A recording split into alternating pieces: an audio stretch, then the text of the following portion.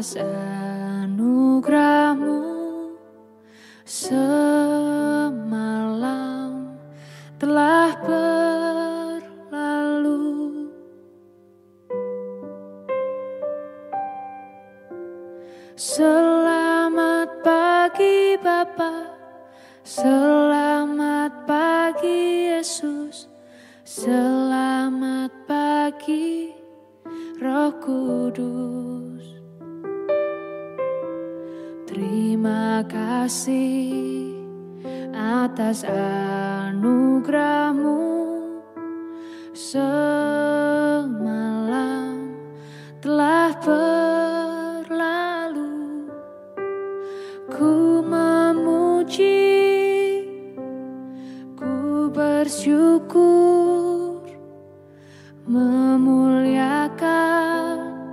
namamu.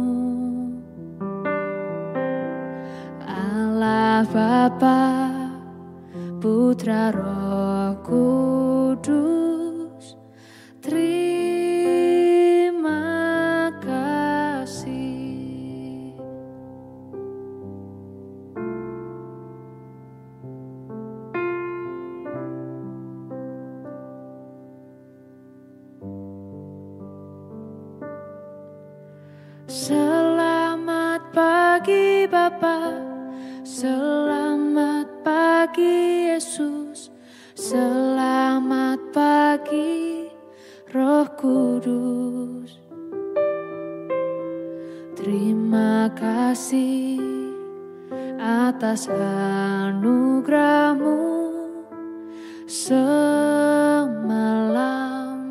telah berlalu Ku memuji Ku bersyukur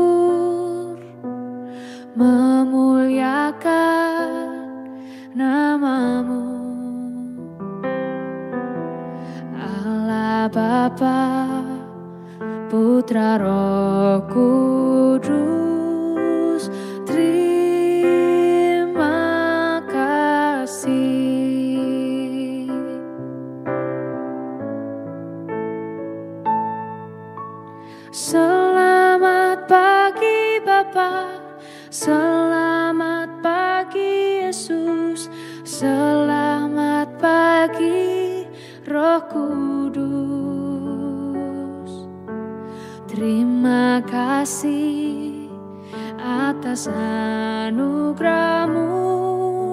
Semalam telah berlalu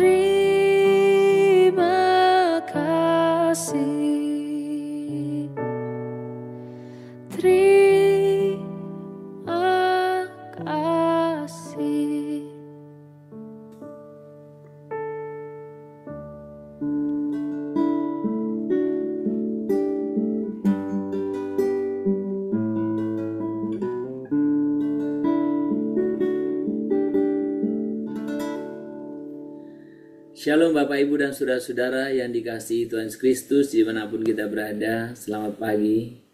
Kita bersyukur pada pagi hari ini buat setiap anugerah, kasih, berkat, dan pemeliharaan Tuhan dalam hidup kita. Kita mau mengawali buat setiap aktivitas kita Pada pagi hari ini bersama-sama dengan menyembah Tuhan Meninggikan dia. Dia yang layak dimuliakan Dia yang layak ditinggikan. Kami sembah Tuhan sembah Tuhan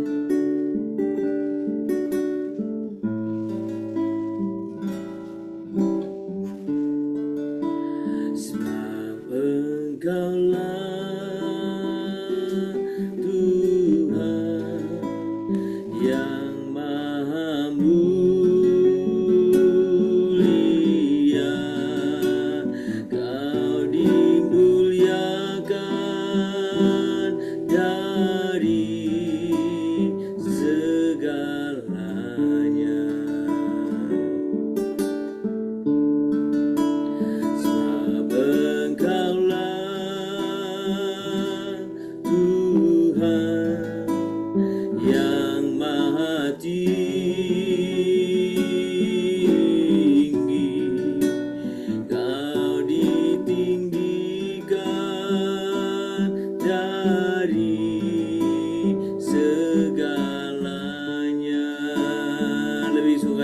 hadapan Tuhan Engkaulah Tuhan yang maha mulia. Kaulah Tuhan yang maha tinggi.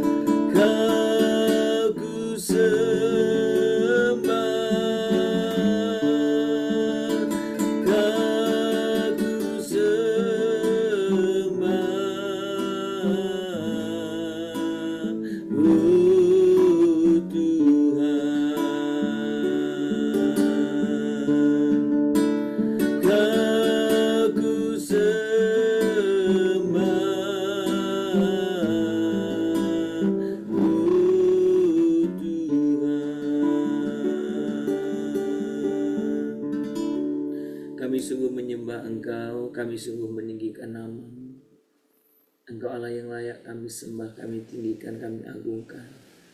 Terpuji termulialah namamu Bapa pada pagi hari ini untuk setiap anugerah yang telah boleh curahkan kepada kami.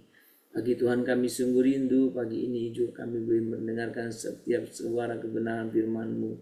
Sehingga Tuhan dalam setiap kehidupan kami, kami terus tetap setia di hadapan Tuhan. Terima kasih Bapak.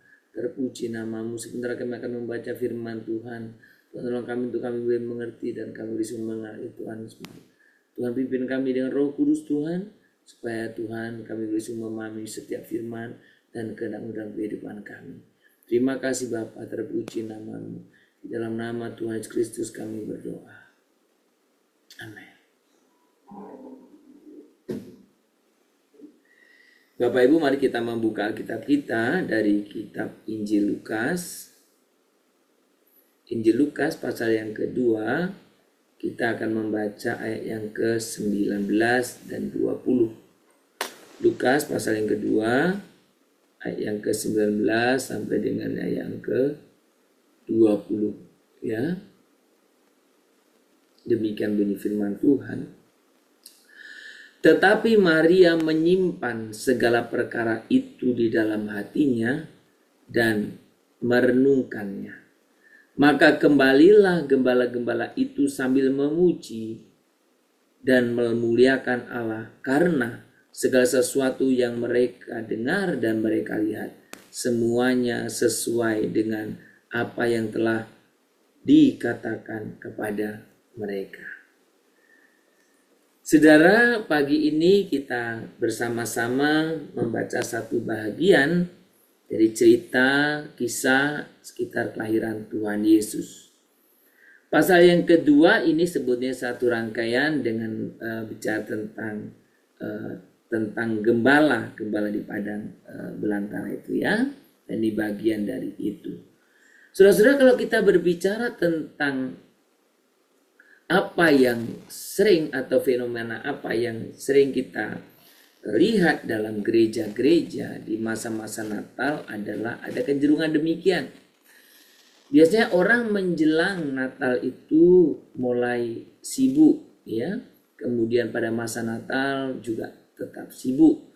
Tetapi kalaupun demikian di masa perayaan Natal yang tanggal 24 dan tanggal 25 itu biasanya orang rame ya rame nah tetapi setelah tanggal 25 itu biasanya ada masih uh, minggu lagi kan lewat minggu yang terakhir yang November.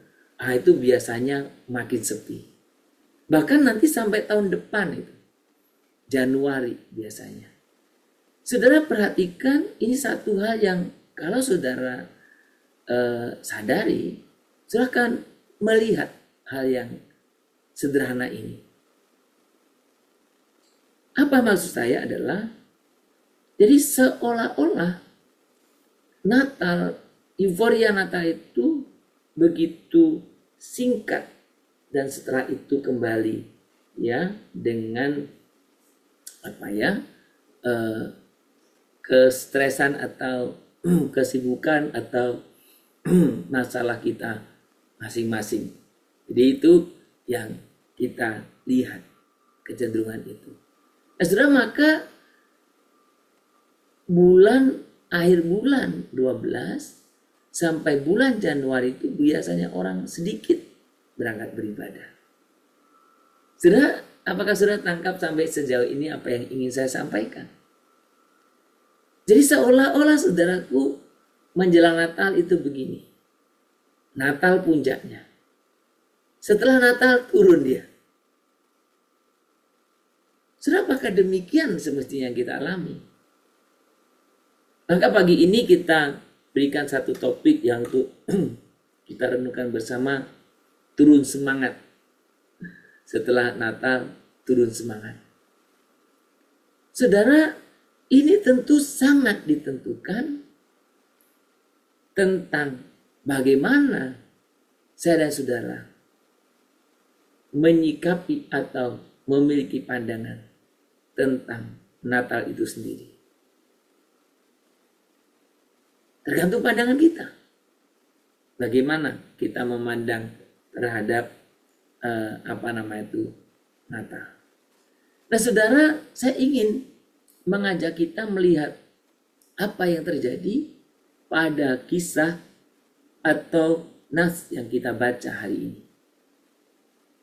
Saudara, kalau kita memperhatikan secara keseluruhan bagian itu sebenarnya sedang menceritakan bagaimana para gembala datang kepada Tuhan Yesus. Mereka datang. Dan mereka mengatakan bahwa mereka ini mengikuti petunjuk atau arahan Tuhanlah begitu pemahamannya untuk menyakit mengikuti itu. Ya orang maju dan sebagainya untuk mengikuti uh, apa nama itu uh, uh, untuk mengikuti apa nama itu arahan bintang itu kalau orang maju ya. Dan gembala-gembala itu pergi menjumpai Maria dan bayi Yesus itu karena ada uh, bala tentara surga itu yang memuji. Nah, saudara, pertanyaan saya kembali, apakah memang ketika kita selesai melayankan Natal itu kita turun semangatnya? Saudara, saudara bayangkan kesibukan Maria dan Yusuf menerima tamu-tamu yang akan mengunjungi mereka. Memang di Alkitab nggak mencatat semua kan? Tapi kita memiliki sadar umum kan pasti. Ya. Pasti bahwa ketika apa namanya itu eh, setelah pesta begitu, saudara pasti ada kelelahannya, pasti. Nah saudara bayangkan Maria yang begitu repot menyambut gembala, menyambut orang maju, menyambut orang-orang lain. Nah ketika semua acara usai apa kira-kira yang dialami? Apakah dia juga Yusuf dan Maria juga mengalami seperti yang kita alami hari ini langsung turun Saudara ada satu perkataan yang sangat menarik di dalam ayat yang kita baca tadi, ya. Tetapi Maria menyimpan segala perkara itu di dalam hatinya dan merenungkannya. Maria bukan sibuk dengan dirinya sendiri, tetapi dia betul mendengar, melihat, merasakan apa yang dikatakan oleh para gembala apa yang dikatakan oleh orang majus, apa yang dikatakan oleh banyak orang. Dikatakan situ, Maria menyimpan segala perkara itu di dalam hatinya. Dan merenungkannya. Sudah ini sangat penting. Kita betul-betul menyimpan dalam hati kita, merenungkan tentang Natal itu sendiri yang dari dua hari yang lalu saya sampaikan, Kristus yang harusnya menjadi pusat dari Natal itu. Dan itu boleh kita imani, boleh kita pelihara iman yang demikian. Nah sehingga ketika orang banyak itu meninggalkan, saya percaya Maria tidak segera melupakan apa yang telah terjadi. Justru sekarang saatnya mengungkapkan apa yang telah terjadi dan yang sedang terjadi. Diungkapkannya melalui apa? Ya kan? Apa yang tadi disimpan dalam pikiran dan merenungkannya. Ini satu hal yang yang sangat luar biasa. Kita bisa melihat. Memang Maria dan Yusuf akan nanti melanjutkan tugasnya, fungsinya sebagai ibu dan bapak. Merawat, membimbing, mendidik anaknya. Ya. Ini saya bicara di sisi kemanusiaannya, kemanusiaannya. Para gembala pun setelah kembali dia kembali menjadi seorang gembala. Tidak berubah profesi mereka. Nah, tetapi saudara ada sesuatu yang berbeda, sesuatu yang berubah yaitu apa? Natal yang sudah mengubah mereka. Yang tentunya tidak menjadikan mereka menjadi enggan, menjadi malas, tetapi mereka bukan turun, tapi naik. Saudara, ini hal yang patut kita lihat bersama. Jadi ketika kita bisa membaca, memperhatikannya, bagaimana saya dan saudara tetap sukacita. Natal dan perayaannya boleh berakhir, tetapi peristiwa Natal itu, peristiwa Natal itu tidak berakhir. Saudara, kita berbicara tentang bagaimana apakah kita turun semangatnya. Harapan saya melalui firman Tuhan pagi hari ini, kita semuanya justru semakin semangat. Saudara, Yesus datang ke dunia ini untuk mati bagi dosa kita. Lalu mengalahkan maut bagi kita. Bangkit dari kematian. Saat ini, saudara, bagaimana dengan kita? Kita tentu punya lebih banyak hal untuk direnungkan. Dan lebih banyak alasan untuk memuliakan Tuhan daripada Maria dan para gembala kan? Kita lebih banyak. Nah, bagaimana kita tidak mengalami penurunan semangat oleh karena kita fokus kepada Allah. Saudara, jadi Natal nanti boleh usai perayaannya. Tapi biarlah semangat Natal itu terus mengalir dalam diri kita. Ada banyak faktor yang bisa membuat segala sesuatu turun semangatnya. Tapi kita bersyukur karena ketika kita melihat apa itu peristiwa rata, maka kita tetap tidak pernah mengalami turun semangat kita. Tapi justru kita semakin semangat di dalam Tuhan.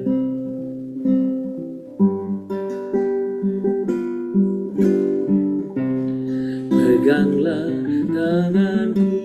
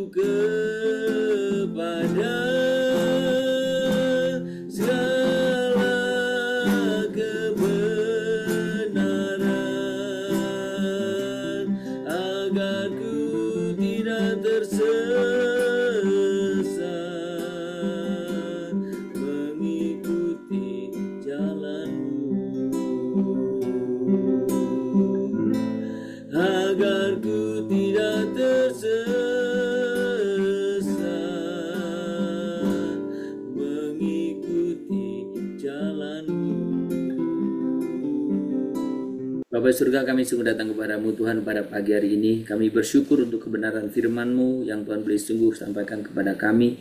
Tuhan boleh nyatakan kebenaran-Mu di tengah-tengah kami. Dan Tuhan ajar kami untuk kami seperti Maria, Yusuf, seperti para gembala. Setelah usai Natal Tuhan mereka kembali kepada aktivitas sebagai pekerjaan tetapi semangat yang mereka miliki tetap boleh menyala-nyala. Mereka tetap boleh sungguh setia kepadamu. Mereka tetap boleh sungguh-sungguh terus mengikut engkau. Mereka tetap senantiasa menyimpan setiap kebenaran itu, merenungkan Tuhan dan itu terus menggerakkan hidup mereka. Kami berdoa Tuhan pagi hari ini kami secara khusus berdoa Tuhan untuk kami setiap pribadi supaya kami boleh sungguh juga bisa memberitakan kabar baik, memberitakan Injil ke mana pun Tuhan boleh sungguh kami adakan uh, kami ada Tuhan supaya kami boleh sungguh menceritakan melalui setiap kehidupan kami perjumpaan-perjumpaan kami dengan orang lain tentang Engkau pagi ini kami juga mau berasa secara khusus Tuhan buat setiap pemberitaan pekerjaan pemberitaan Injil baik dilakukan oleh para misionaris maupun dilakukan oleh setiap pribadi-pribadi dan juga uh, instansi atau gereja Tuhan. Kami berdoa untuk para misionaris yang Tuhan utus ke tempat-tempat tertentu Tuhan suku-suku tertentu wilayah ataupun komunitas-komunitas tertentu Tuhan juga berkati. Dan kami juga berdoa Tuhan supaya setiap pemberitaan Injil juga boleh sungguh-sungguh Tuhan uh, Tuhan sertai Tuhan. Kami juga berdoa untuk mereka yang memberitakan di daerah-daerah di pedalaman. Mereka memberitakan di daerah-daerah terpencil yang sangat rawan. Tuhan lindungilah mereka. Bahkan kami berdoa juga Tuhan untuk mereka yang memiliki visi untuk menjaga sub atau uh, generasi tertentu Tuhan juga berkati. Dan biarkan kami juga secara institusi gereja boleh sungguh kami menggerakkan setiap jemaat kami. Bukan hanya orang-orang tertentu. Kami boleh punya tugas sama untuk memberitakan Injil kerajaanmu. Bapak di surga kami juga berdoa untuk setiap pemberitaan Injil melalui sosial media yang sangat efektif juga untuk menjangkau semua kalangan dari semua generasi. Tuhan juga berkatilah. Berkatilah setiap orang-orang yang Tuhan pakai untuk dalam pelayanan ini. Tuhan pakai berkati mereka Tuhan. Terima kasih Bapak Surga kami juga mau serahkan dalam tangan Tuhan pada pagi hari ini. Untuk setiap kehidupan jemaat-jemaat Tuhan. Biarlah dalam masa Natal ini kami tidak larut dalam euforia. Tetapi kami boleh sungguh seperti gembala. Yang mereka kembali pergi dan memberitakan Injil. Menyaksikan apa yang mereka telah lihat. Apa yang mereka telah alami. Apa yang mereka telah Tuhan uh, Tuhan rasakan Tuhan. Biarlah itu juga menjadi satu gaya hidup kami. Betapa kami boleh sungguh perlu-perlu mengalami setiap pengalaman kami bersama Engkau Tuhan. Sehingga itulah boleh sungguh akan memperkuat dan terus memberikan kepada kami sekalian untuk boleh menceritakannya kepada orang lain. Terima kasih Bapa. Kami terus berdoa untuk setiap kehidupan jemaatmu. Mereka yang sakit, Tuhan pimpin mereka. Sertai mereka. Tuhan beri kepada mereka kekuatan pendungguhan. Bahkan kami juga berdoa untuk mereka uh, Tuhan yang sedang dalam keadaan kesulitan ekonomi, kesulitan pekerjaan atau apa pun. Tuhan senantiasa Tuhan yang memimpin sertai supaya semua ada jalan keluar juga di dalam Tuhan. Berkati ya Tuhan. Kami mau serahkan juga untuk setiap hal yang kami boleh sungguh lakukan rencanakan biarlah Tuhan selalu uh, Tuhan uh, turut campur tangan dalam setiap kehidupan kami. Terima kasih Bapa pagi hari ini mereka yang sakit Tuhan tetap berikan kekuatan, berikan Tuhan semangat dan kami juga berdoa untuk setiap kami supaya kami mengambil bagian kami masing-masing sesuai dengan kehendak Tuhan. Terima kasih Bapa, kami serahkan buat setiap uh, Tuhan kehidupan kami hari ini. Tuhan anak-anak yang dalam sedang ujian akhir semester Tuhan juga engkau pimpin berikan hikmat roh hikmatmu kepada mereka Tuhan. Biarlah mereka juga boleh memperoleh prestasi yang baik. Oh Tuhan terima kasih. Berkatilah Tuhan. Terima kasih Bapa. Terpuji namamu. Sekali lagi kehidupan kami hari ini kami serahkan dalam tangan Tuhan. Hanya di dalam nama Tuhan Yesus Kristus kami berdoa dan kami sungguh mengucap syukur. Amin. Kita bersama-sama menaikkan doa Bapa kami. Bapa kami di surga, dikuduskanlah namamu, datanglah kerajaanmu, jadilah kehendakmu di bumi seperti di surga. Berikanlah kami pada hari ini makanan kami secukupnya, dan ampunilah kami akan kesalahan kami, seperti kami juga telah mengampuni orang yang bersalah kepada kami. Janganlah membawa kami ke dalam pencobaan, tetapi lepaskanlah kami dari yang jahat. Karena engkau yang punya kerajaan, dan kuasa, dan kemuliaan, sampai selama-lamanya. Amin. Kita menerima berkat daripada Tuhan saja. Maka kiranya Tuhan memberkati engkau dan melindungi engkau. Tuhan menyinari engkau dengan wajahnya dan memberi engkau kasih karunia. Kiranya Tuhan menghadapkan wajahnya kepadamu dan memberi engkau damai sejahtera. Dari pagi hari ini, besok, bahkan sampai selama-lamanya. Amin. Shalom Bapak Ibu dan Saudara-saudara, selamat beraktivitas, selamat berkarya. Kiranya semangat Natal itu senantiasa ada pada diri kita. Bukan hanya ketika merayakan saja, tetapi pasca perayaan pun makna atau sukacita atau semangat Natal itu terus ada dalam diri kita. Tuhan memberkati kita semuanya. Shalom, Immanuel.